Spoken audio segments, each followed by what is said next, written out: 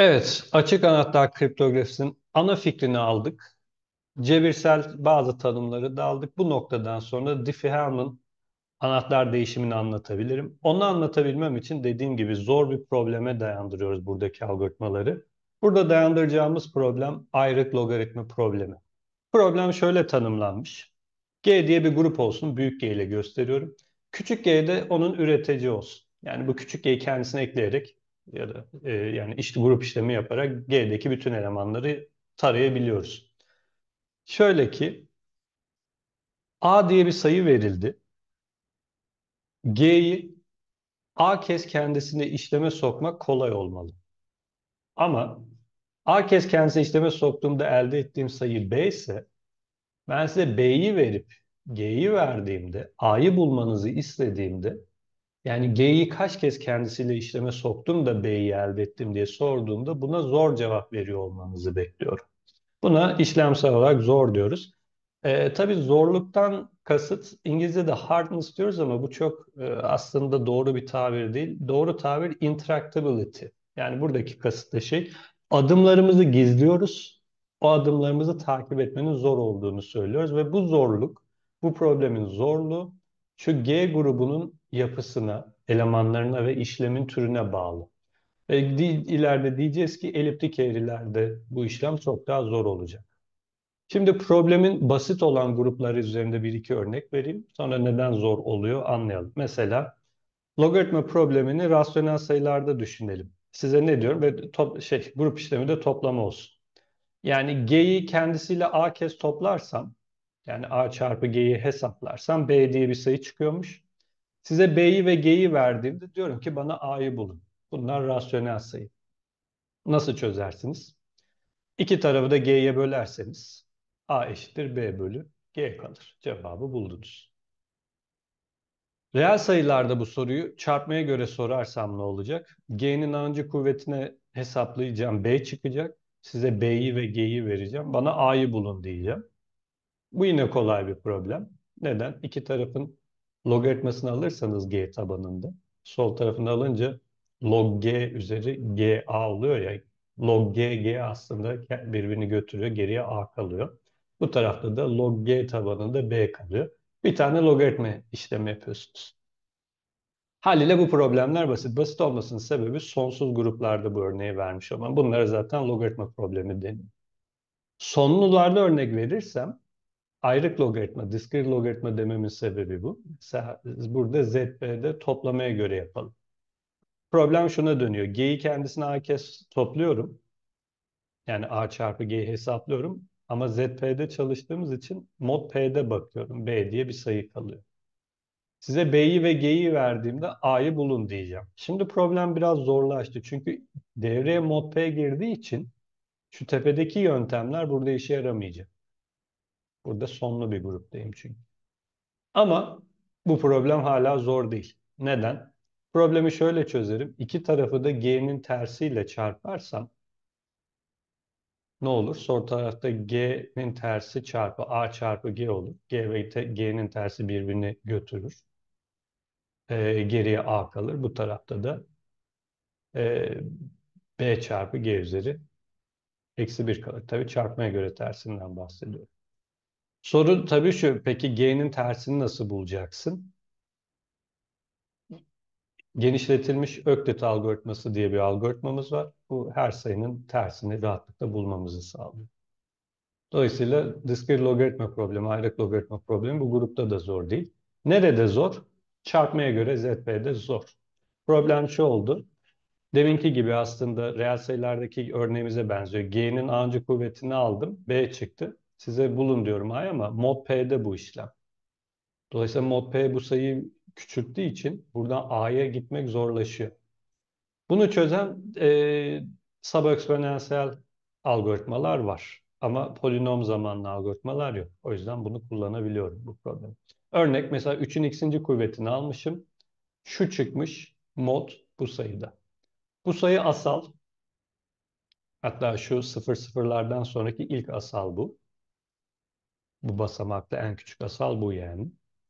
Ben bunu bilgisayarda hesapladım. Cevabı bu yazdım. Mesela soru şu. Bana x'i bulabilir misiniz? Ne yapabilirsiniz? En kötü ihtimal tek tek x'i denersiniz. 3'ün birinci kuvveti bu mu? Değil. 3'ün ikinci kuvveti bu mu? Değil. 3'ün üçüncü kuvveti bu mu? Değil. Böyle gidersiniz. Kaç kez gideceksiniz? Grupta kaç eleman varsa o kadar gideceksiniz. Dolayısıyla e, şey grup ne kadar büyükse problem o kadar zor. Burada grubun kaç elemanı var? Aslında şu sayıda eleman var grupta değil mi? Eksi bir tabii. Bunun cevabı ben tabii basit bir sayı seçmişim 127.002. Bilgisayarla bunu hesaplaması zor değil. Yani benim kuvvetini alıp size sonucu vermem de zor değil. Sizin 3'ün 127.000 kez kuvvetini almanız da zor değil bu modüler aritmetikte tabii ki. Ama günümüzde yüzlerce basamaklı sayılarla uğraşacağız. Yani burada yani 5-10 basamak falan var değil mi? Yani şuranın e, 600 basamaklı olduğunu düşün. Bu problem bilgisayarlar için de zorlaşıyor. Eliptik eğrilerde bu daha da garip bir noktaya gelecek. Eliptik eğrileri anlatacağım ileride ama şu problemi tanıtayım sadece. Eliptik eğride bir P noktası düşünün. Bu noktayı kendisine D kez ekleyince farklı bir nokta çıkıyor eliptik eğride. Biz e, insanlara bu başlangıç noktasını ve sonuç noktasını vereceğiz ve şunu soracağız. P'yi kendisine kaç kez ekledim de bu noktaya geldi. Bu şundan daha zor bir problem. Yani burada grup eleman sayımız bu ya. Burada da o kadar nokta olduğunu düşünün eliptik eğri üzerinde. Bu problem böyle zorlaşır. Ha dediğim gibi eliptik eğri daha nedir söylemedim. Şekillerle göstereceğim ne olacak. E, eliptik eğri kriptografisi tabirini duymuşsunuzdur. Neden duyduğunuzu anlatmak için aslında bu şey sorun. Bu problem orada daha zor. Daha da basit bir örnek vereyim. Siz RSA algoritması kullanırsanız yine onu da birazdan bahsedeceğim. Sizin gizli anahtarınızın yani grup size'ınızın boyutunuzun aslında 3000 bitlik bir sayı olması lazım. Bu da yaklaşık 1000 basamaklı falan bir sayıya denk gelebilir. Eliptik eğri kullanırsanız 3000 basamaklı değil 256 bitlik bir sayı seçmesi. Yani 3000 bit değil de 256 bit size yetecek. Bitcoin gibi, Ethereum gibi kripto paralarda eliptik eğri kullanıyor. Bütün dijital imzaları onların üzerinden atıyoruz. Bu sayede aslında hesap yani para gönderirken aslında siz eliptik eğrideki bir noktaya para gönderiyorsunuz. Noktanın boyutu e, bütün kripto paralarda, bütün dijital imzalarda, dijital imza algoritması DSA'dan bahsedeceğim birazdan. Orada bu problemi kullanıyoruz. DSA'da bu. Eliptik kör dijital imza algoritmasındaysa bunu kullanacağız. O yüzden e, anahtarların boyutu küçülecek. Aradaki fark bu. O yüzden hani teşvik ediyoruz. E, kripto paralarda da blok zinciri işlem dijital imzalarla işleminizi imzaladığınız için e, blok zincire çok fazla veri yazmamak için haliyle bu daha şey. Yani 3000 bit yerine 256 bitlik sayılarla uğraşıyor olacaksınız. Ee, dediğim gibi bunu e, bu problemi çözen bazı algoritmalar var. Polydraw algoritması karekökü kadar işlemde çözmenizi sağlıyor. Bu şu açıdan önemli.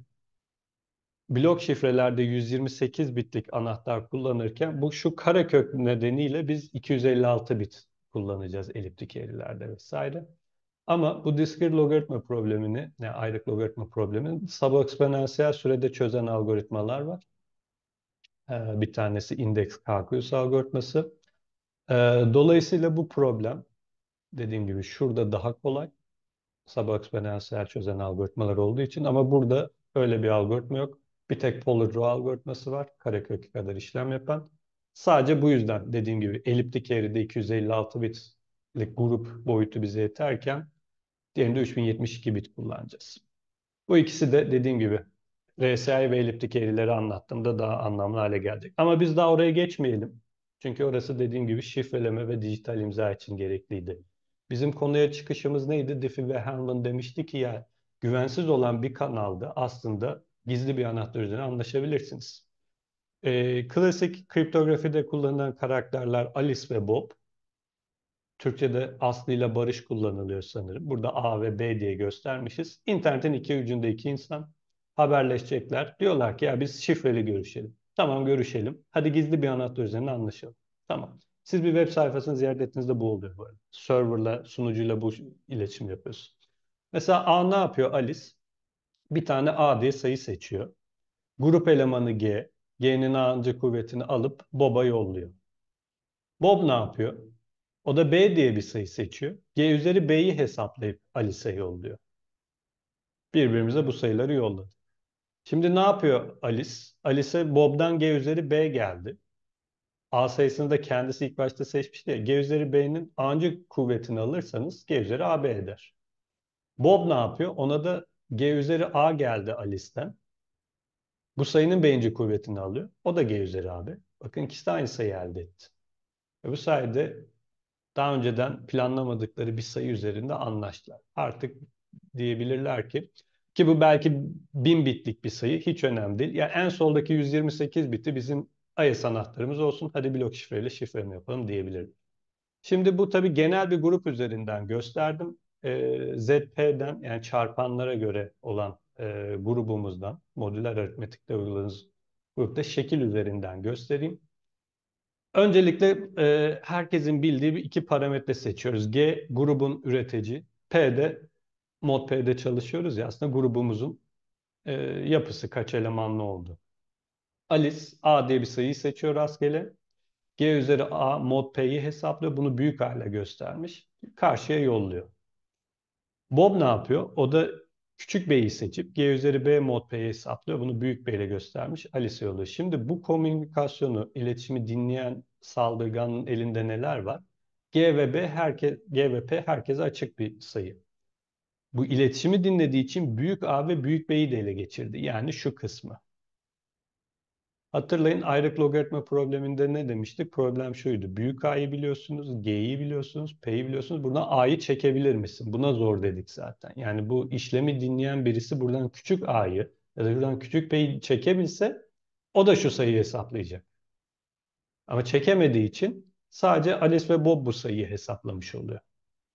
Ve dediğim gibi bu sayı isterse 5000 bit olsun hiç fark etmez diyebilir ki bunun en soldaki ya da en sağdaki 128 bitini ya da 256 bitini biz blok şifre anahtarı olarak kullanalım.